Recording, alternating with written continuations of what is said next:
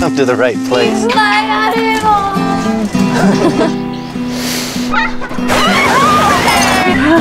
good job.